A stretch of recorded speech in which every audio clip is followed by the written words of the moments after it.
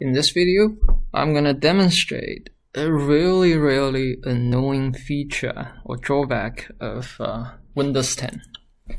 Uh, when you are using, for example, Surface Pro to write something, okay, to write something, and uh, um, you may wanna say uh, you use a pen to write a formula. So, for example, and you don't want the keyboard to pop up and uh, for example, if you touch somewhere, you don't want the keyboard to pop up. But Windows 10, the keyboard pops up too often. So for example, if you write formula,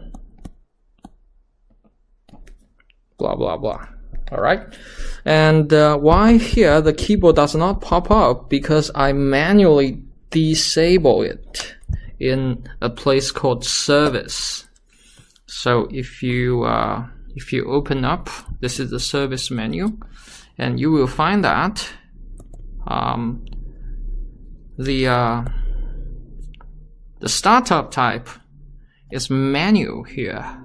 It means unless I click this icon right here, this keyboard icon, uh, the touch keyboard won't be activated. Alright, so now let's uh, activate it. For example, if I want to type something, and uh, now it pops up so I can type something. So something all right and uh, okay. And now I close it. Supposedly um, I still want uh, this to be this keyboard popping up manually uh, when I whenever I click this icon right here Alright, whenever I don't click this icon, I don't want this keyboard to pop up. For example, when I write, oops, you see the keyboard pop up, I didn't even touch this icon right here. So why this happens? The reason is because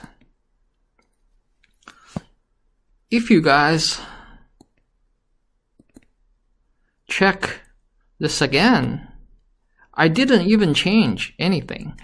It was originally manual, but now it becomes automatic.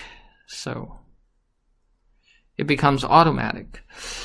When I set to the manual, but whenever, as you guys can see, uh, this is still manual, but uh, but uh, um, if you click it in, it becomes automatic.